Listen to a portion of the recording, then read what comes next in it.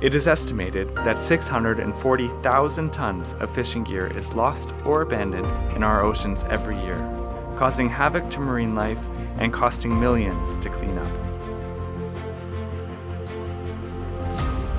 Global initiatives are in place building awareness to this issue, and Deep Trekker is proud to be part of the solution, making cleanup safer and more cost effective.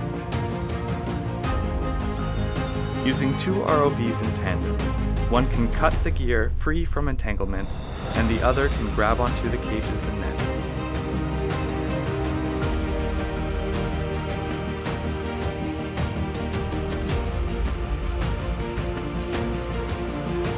pulling them to the surface.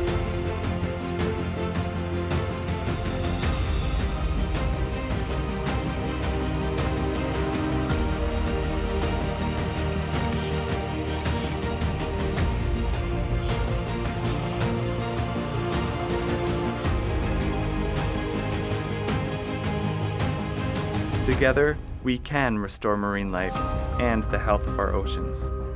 Learn more at deeptrekker.com.